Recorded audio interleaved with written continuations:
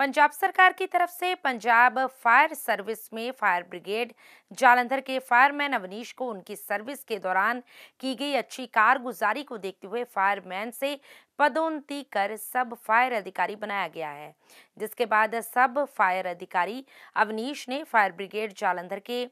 पूरे स्टाफ सदस्यों के साथ साथ लोकल बॉडी मंत्री बलकार सिंह का धन्यवाद करने के लिए पहुँचे, जहाँ पर उन्होंने लोकल बॉडी मंत्री बलकार सिंह से मुलाकात कर उनका आभार व्यक्त किया। इस अवसर पर फायर अधिकारी वरिंदर भगत, राजेंद्र कुमार, नरेश कुमार बख्शी, श्याम बाबा, राजकुमार, हरीश महिमा, प्रदीप वाल्मीकि, गौरव भारद्वाज, मुनीश सोंदी, जसविंदर पाल, रमनदीप सिंह, नवीन कुमार सहित अन्य सदस्य भी मौजूद रहे। जालंधर से पंकज শর্মা কি রিপোর্ট